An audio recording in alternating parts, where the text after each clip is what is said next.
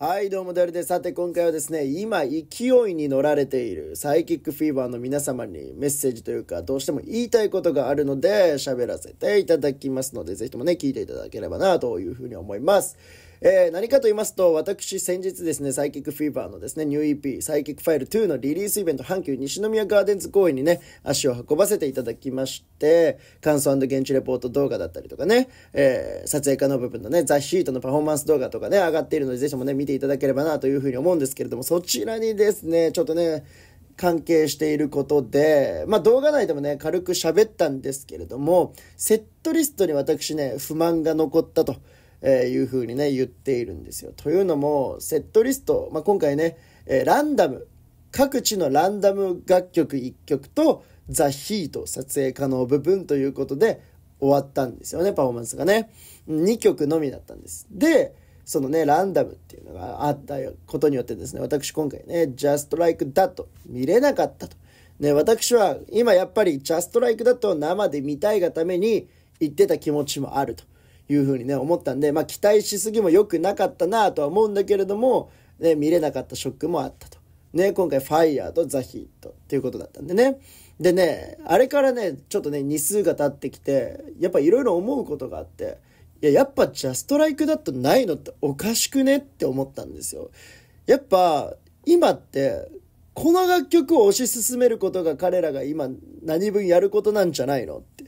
うん、思うというか、今ファンのみんながね、サイキックフィーバーの生のパフォーマンスを見に行こう。特にリリースイベントってさ、あの、フリーイベントだから、あの、ファンじゃない子っていうか、あの、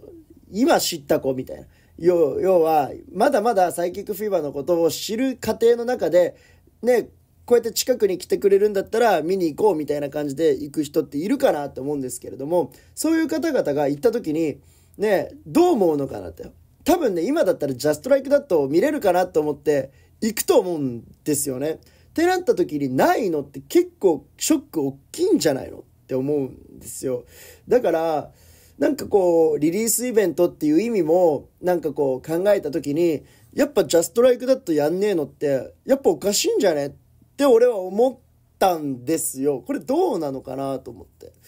うん。やっぱないのってすごい不思議だし、なんでやんねんの？やらない理由がわからないというか。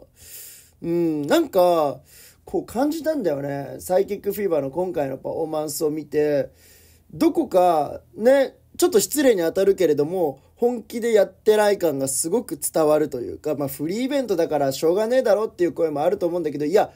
フリーイベントだからこそやれよって思うんですよ。や、だってさ、ファンじゃない人が来るわけで、ね、あの、どんなもんじゃい、サイキックフィーバーっていうテンション感で来る人もいると思うんですよ。うん。そうなった時に、ね、手抜いてられるような、まだそういう落ち着いてられるような、ね、あの、グループじゃないですよ、あなた方はって僕は思うので、ね、なんかこう、ジャストライクだと抜いているというか、そのなんだ、ランダム1曲とザ・ヒートっていうことにしてるところを見ると、いや、なんか違うなっていうね、いうふうには思うんですよね。どうですかね。やっぱ今、今本当にサイキックフィーバーの楽曲ね、生、何を生で見たいかって言ったらやっぱジャストライクだとなるので、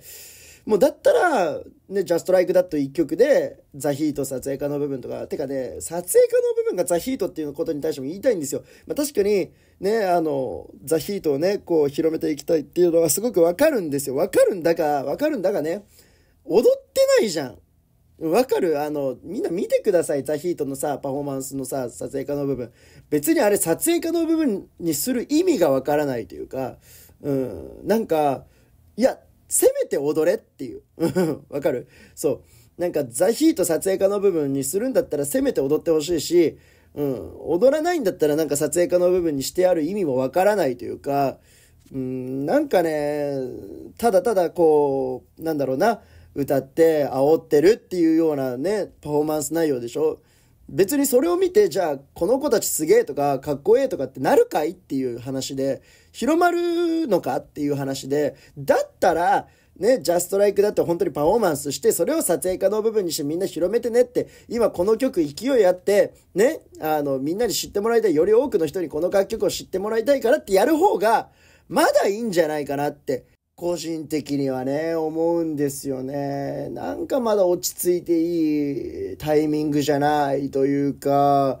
ジャストライクだったなーって思うんですよね。個人的になんだけどね。これをね、だからこうパフォーマンスを見たファンの方々がどう思っているのかとか、会場にね、来られていた方々がどう思うのかっていうのはね、わからないんですけれども、でも正直僕はね、なんか日に日に、なんでやらなかったの？っていう風にね、個人的にはね、思うんですよね。やっぱ撮影家の部分ってやっぱ、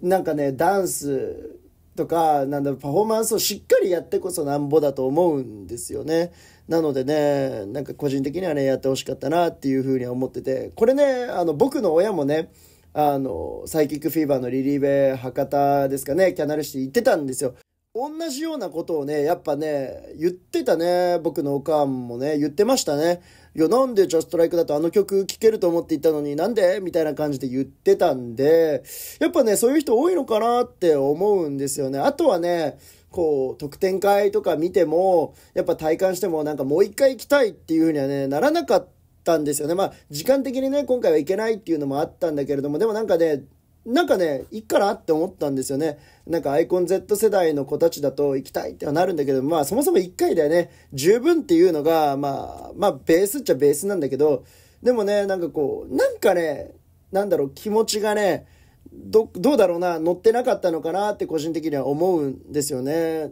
というのも、それはね、こっち側、要はファン側にも問題は多少あると思うんですよ。やっぱり、海外のステージをね、経験してる彼らからすると、やっぱファン、日本のファンの盛り上がりって、ベース低いんですよね。海外のうわーっていうさ、こう、なんだろう、声出して、手上げて、うわーって大熱狂って感じのさ、イメージあるじゃん。それからするとやっぱ日本人っておとなしめな文化というかね、そういう国民性というか、ファン性というか、そういうのがあるので、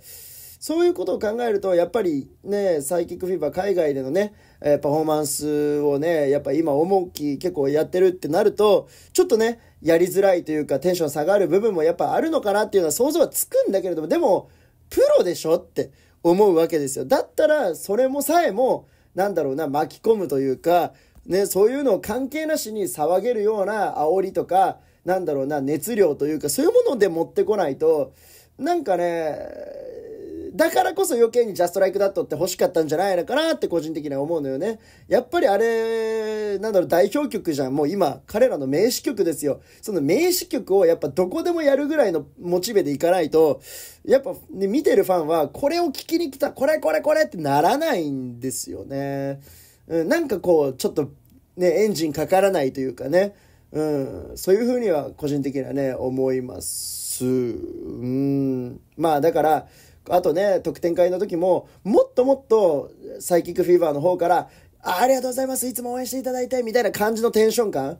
ぐらい欲しいですよね。だって今、本当にありがたい環境になったわけじゃないですか。ね。ジャスライクだとか跳ねて、まあそれがね、ね、あの、僕ら日本人のファンのおかげかと言われると、どうかわかんないけど、でも、